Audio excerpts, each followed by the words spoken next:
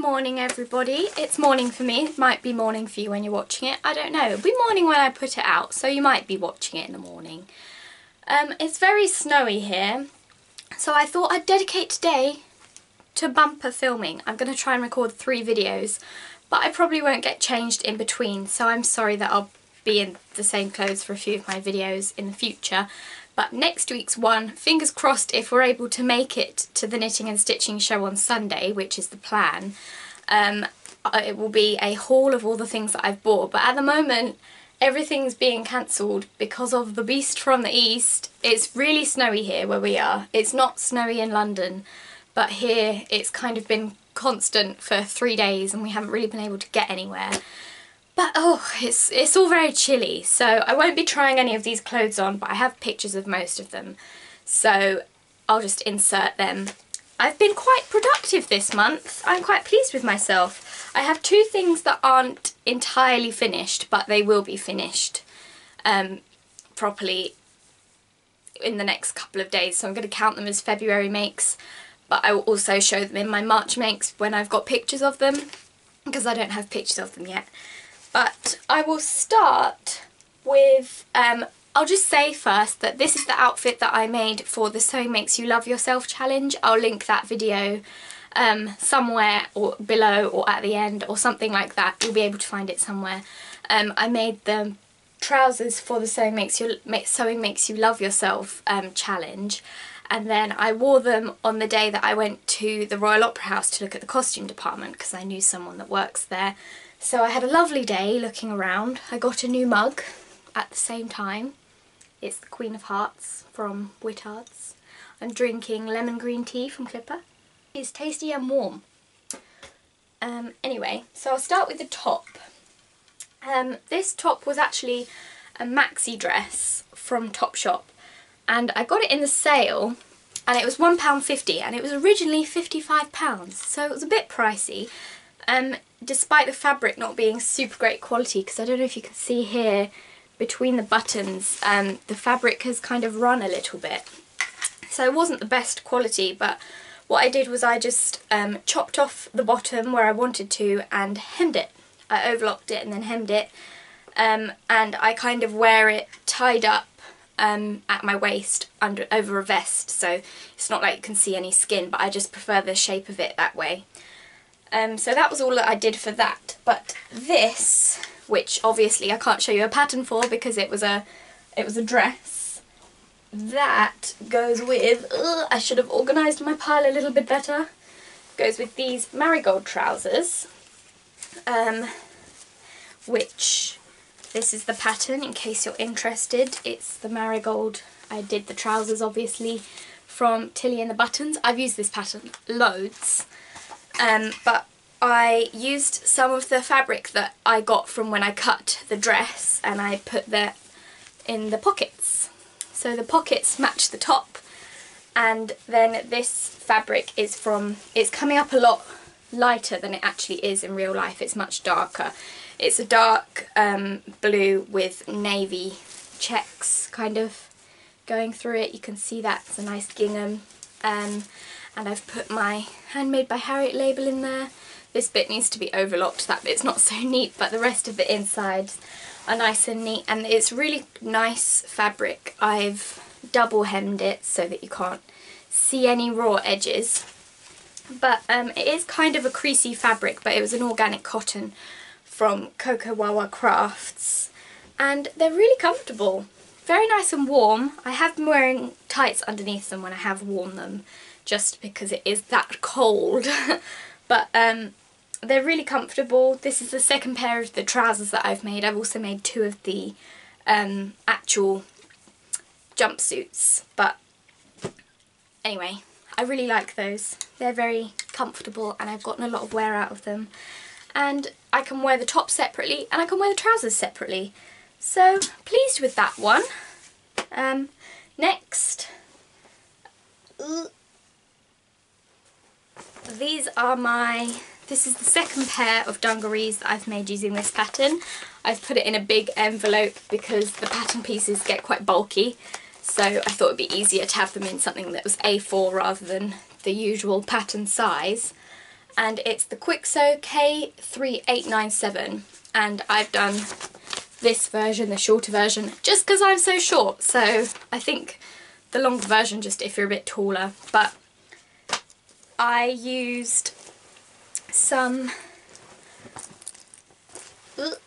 some pink cord that was in my stash. It's kind of, I think in my blog post that I wrote about them, I called it um, Embarrassed Salmon, just because it's a bit pinker, darker than salmon, but still sort of a salmon shade. And then I used these buttons which match the patch that is on there and they're both from Susie London. The buttons came in a pack of six and the patch came on its own. But I'm a big fan of red and pink which as you can see from the inside lining that I did, um, this was a remnant from the Cotton and Steel Snap to Grid um, fabric that I got from the Fabric Fox which I'll try and link below. This corduroy I didn't pay for just because um, it was one that my nana's friend gave to me that she didn't want anymore.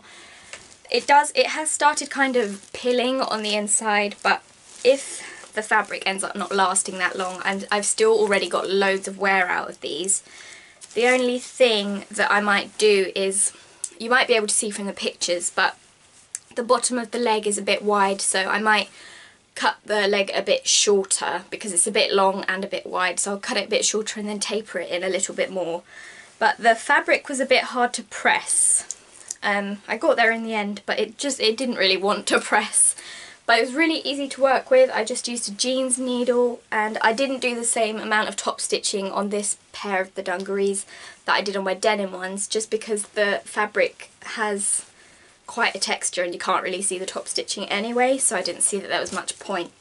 But um, I did it in the necessary places so that everything lays flat and I'm really pleased with those. I've gotten so much wear out of them and I'd really like to make a pink denim pair so I might be on the lookout for some pink denim at the knitting and stitching show. Next, um, this top I will take off the hanger. We took the pictures for the this top um, the other week and it was when it was a little bit warmer than this obviously because it's so snowy now but it was really cold but I wanted to do it so that you could see the top and not have a coat over the top and then I got tonsillitis so hopefully that didn't have too much to do with it. I know that, um, anyway, I'm rambling now. But I used, this fabric was from the Sew Hayley Jane um, February box. The theme was Flora and Fauna and this fabric was isn't really one that I would look at and pick up myself if I saw it at a shop or on a stall or something. It, it wouldn't be one that I'd gravitate towards. But it was so nice to work with. It has a really nice drape and the colour's really nice. It's just kind of the print that I wasn't so sold on at first but the more I used it and the more I worked on it um, the more I liked it and this bit is my favourite, the little kind of strawberry bits. Um, but what I'm most pleased with on this is the inside. It's um, a really nice pattern, it's got good instructions. There was one bit when it came to the yoke, the inside yoke, that got a bit confusing and I didn't want to do it their way. So I used the instructions for the Alex shirt from the Sew Over It City Break book. So that the yoke is, all the seams are hidden on the inside. I'll turn it inside out for you so that you can see. Um, I did French seams on everything. Um, yeah, you can't see any of the seams on the yoke. I overlocked the sleeves and then I did a double hem again. So there are no raw edges inside. It's got a really nice um, box pleat at the back. The only thing is that next time I'm going to do a smaller size. Oh, sorry, this is the pattern. It's the Colette Patterns Aster blouse and I did version 1. I was going to do version 2, but um, it was a really lightweight fabric and I thought I'd be more likely to wear the short sleeved version in the summer rather than the long sleeve version. I wouldn't wasn't really sure when I'd want to wear it. Plus it would be quite a lot of fabric for, um, it like the fabric would cover a bigger place whereas with version 1 there's a bit more skin so it's more, do you know what I mean? It's kind of hard to explain. But um, that one, there are like pleaty details on the shoulder and I just thought they'd get lost anyway. So yeah, version 1 is the one that I made. I made it in a size slightly bigger um, because I made it to my bust measurement rather than anything else and it's kind of too wide on the shoulders. So next time I'm either going to add a bit to the neckline um, so that it's a bit smaller or I'll just size down. But yeah, I'm really pleased with this one. It also fits mum, so we're going to be sharing this. And um, yeah, nice. I didn't do buttonholes because I can fit it over my head, but I just use little white ones. Can't even see them. There, there's one. a little white button. Also got my Handmade by Harriet labelling. What's next? Oh, these two things, the last two things, are the ones that I haven't completely finished, but they will be finished by the time this goes up. The first one is, I'll talk, yeah, I'll talk about this one first. Where's the pattern? Ah, I haven't got the instructions, which I did just have. But anyway, never mind. I'm sure you'll all know which pattern I'm talking about. I made the Tilly and the Buttons Cleo pinafore, which I hadn't made before. Um, but I've made it out of this poly wool blend. It's 80% wool, 20% um, polyester, and it's really nice black. It is black, you just can't see that it's black. If I hold it back here, you can see. Um, and the lines are actually stitched rather than printed. And this fabric was so lovely. It was sent to me by someone in Texas, and I'm so grateful because I've been saving it and I didn't know what to do with it. Much like that Alice in Wonderland fabric that I still haven't decided what to make with just because it's so pretty. Um, but I did the pocket on the front, I kind of, I tried to pattern match it so that the stripes weren't interrupted.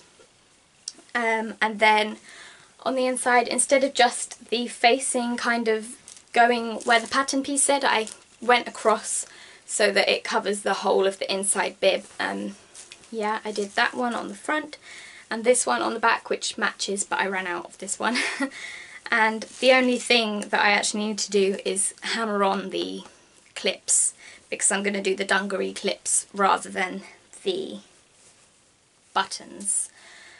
Um, this fabric was also really awkward to press but it got there with a little bit of steam. Obviously you have to be careful with wool but um, I did it in a very careful way and everything was safe and the wool didn't the wool didn't panic or anything, but I'm really pleased with it. It's a really nice fabric and where I've, because it's not got that much structure, it has got some structure but it's not super thick so it doesn't hold the shape.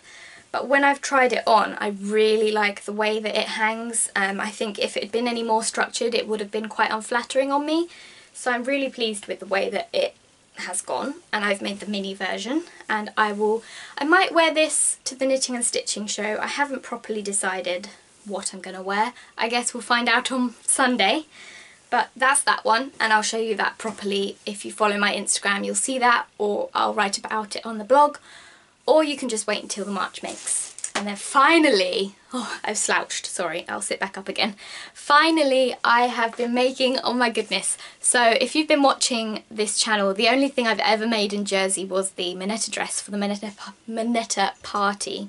Sorry, just gonna have a sip and um, that was kind of when I was starting sewing and I'd sort of been put off Jersey by that. Um, it didn't go particularly wrong, I just didn't feel the need to sew anything in Jersey.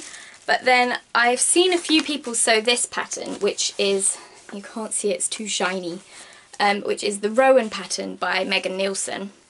And you get six variations um, and ideas on how to customise it on the instructions in one pattern. And it's a you can have it as a bodysuit or as a top and there are three different necklines. And for each neckline you can have it as a bodysuit or as a top but what I find is although bodysuits are awkward to do up and kind of uncomfortable a lot of the time they are really useful when I'm using my crutches or the wheelchair because if I just have something tucked in it sort of rides up a bit and it ends up um, my skin gets cold because I have a bare back or something um, but the bodysuits are really handy for when I'm doing that because no matter how much movement I have, they're done up underneath, so they're not going to um, end up making me cold. So the one that I've been doing, because I've been going to this class, a local class, where all you need to do is just take what you're kind of struggling with or what you need help with, and you could just do whatever you want. It's not like, this week we're going to be making this. You just take your own thing and you can do whatever you want, and it's more of a social thing than a lesson. So I took the jersey because I was scared and I am so pleased with how it's coming out. It's not 100% finished like I said but um, I, all I need to do is the neckband and add the poppers on the bottom. I've made, oh my goodness, it's washing everything out. I've made the v-neck version with um, as a bodysuit. Um, I also need to hem the sleeves. But I've used, I can't remember what this fabric is from, but it's from Me Sunshine. It only just about has enough stretch, so I made the size above what I was gonna, what my measurements are because it's all negative ease. Um, just because I was a bit worried and I've stabilised the shoulders and I'm gonna, I've kind of tacked it all together for the moment because I wanted to make sure it fit first. Um, but I'm gonna do it all on the overlocker rather than with a stretch stitch just because I prefer the finish of that. Um, and I'm so pleased, it's so comfortable, it fits perfectly and basically what I've decided is that I'm going to be buying everything jersey at the weekend, everything jersey. I'm going to buy so much jersey and the next couple of months all you're going to see is Jersey, especially because Tilly's book is coming out. Oh, so excited. I actually, because I went to do work experience last June or July, I went up to the Tilly HQ for a day and one of the patterns, which is one that Alex models from So Happy, Alex from So Happy, it's the kind of sequined, I'm not sure if it's a skirt or a dress, but I spent all day unpicking the sequins in the seam allowance so that um, you didn't have to sew over the sequins and it didn't break the needle. That was such a long job, but I was able to see all of the patterns in the book, so I've been so excited about them for ages, and the one that I'm most excited to make is that dress, I can't remember what it's called, that dress with the frill that goes around like a front yoke. Oh, I can't wait to make that one. I think that's definitely going to be the first thing I make in March. Um, but yeah, I hope you've enjoyed this video. I just really quickly wanted to put out that um, for my website, the Clothing Care Co website, not my Hobbling Handmades website, they'll both be linked below, um, I have recently upgraded so that I have a shop attached to the website, but I'm so confused. I've tried to list things and then when I've tested buying them, it says it's not available in your country. So if anyone has any experience using WooCommerce with WordPress, please can you email me to let me know what I'm doing wrong. I don't understand it. I'll leave my email address below but I'd really appreciate any help that anyone might be able to give me just because it's so confusing and I'm going to be listing the stain removal book, the stain removal guide on there in the next couple of weeks for pre-order because I've written an article for Susie magazine. Um, and so you can pre-order it from when that comes out but I don't know how to list it. It's so confusing. So if anyone knows how to help I'd really appreciate that. But anyway until then have a great weekend. If you're going to the knitting and stitching show I'd love to know what you bought. Or if you see me there I'd love to see what you've bought already. Um, and yeah I hope you have a great time. I hope it's not too cold where you are. And I'll see you soon. I'll be doing my haul really soon. I'm so excited. Bye